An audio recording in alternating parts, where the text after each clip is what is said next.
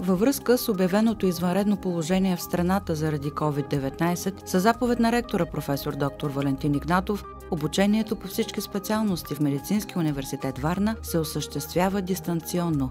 Това става с помощта на електронната система за управление на учебния процес Blackboard, която е въведена от 2014 година. Дистанционно е и обучението по обща и оперативна хирургия за студентите по медицина от 3, 4 и 5 курс. Здравейте, колеги! Виждам, че в класната стая има 65 човека събрани. Чуваме ли се? Да. А, темата на днешната лекция е трансплантационна хирургия. Тя е част от цикъла лекционния за трансплантационна медицина. Предната лекция ви беше прочетена от професор Платиканов създалата си обстановка във връзка с COVID-епидемията представя много предизвикателства пред образователната система в България, дори в глобален аспект в целия свят. В медицината, особено в хирургията, това е регулирана професия и практическото обучение е много важно. Успяваме в тази обстановка да провеждаме обучение на студентите с технологиите и апаратурата, която разполагаме в момента. Това са комуникационни технологии, технологии за видео за което позволява интерактивно да участва, да задава въпроси абсолютно в целия ход на операцията, както и провеждане на упражненията, теоретичната подготовка, лекционния курс, включително и изпитването. Системата Blackboard позволява създаване на класни стаи, в които се водят пълноценни диалози между студентите и лекарите и тестово изпитване.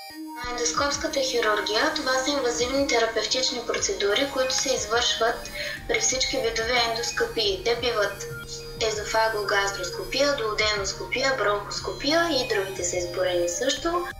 Може би голяма част от преподавателите, от колеги и студенти биха казали, че дистанционно обучение по хирургия това нещо е невъзможно но в крайна сметка ситуацията, в която се намираме в момента, налага да се приспособим към това нещо и естествено да намерим най-лесния, най-подходящия начин, по който въпреки това, че се намираме в, в такава обстановка, да успеем да бъдем ползотворни и да успеем да обучим нашите колеги и студенти в този период от време, в който се намираме в епидемия, да им покажем нашата работа, да им покажем нашите най-интересни случаи Хирургията е преди всичко практическа работа, но на базата на теория. Именно в момента гледаме да набляга, наблягаме на теоретичната част, която естествено дистанционно може да бъде предадена, но все пак, за да бъде интересно и колегите да видят ние с какво работиме, трябва да има и практическа част, която да бъде пресъздадена по някакъв начин и аудиовизуално. Именно поради, именно поради тази причина гледаме да бъдем иновативни и да използваме новите технологии, много съм щастлив от факта, че благодарение на електронното обучение, което в нашия университет вече е налично от 5 години, периода в който трябваше да се адаптираме от обучение всеки дневно с посещение на, на пациенти а, и т.е. редовна форма на обучение, трябваше да преминем към дистанционна форма на обучение и съм щастлив от факта, че периода, който трябваше да се адаптираме, може би беше само от около една седмица, благодарение на преподавателите и на студентите, тъй като те доста бързо се адаптираха а, и съответно по такъв начин успяваме да опозорим времето, прекарано в упражнения и в лекции. Интересно е да се отбележи, че дистанционното обучение явно е по-удобно от една страна за преподавателите от друга страна за студентите, поради което има, се наблюдава повишена посещаемост на занятията, както лекционните, така и упражненията.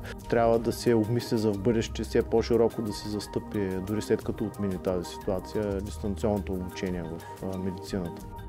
Да, здравейте колеги! Ще ви представим нашата презентация на тема минимално инвазивна хирургия. Тя е най-бързо развиващото се направление на хирургията, като чрез нея се нанася възможно най-малка травма на организма, чрез минимален разрез и води до по-бързо възстановяване на пациента, по-малко болки в след оперативния период и имат по-добър естетичен ефект.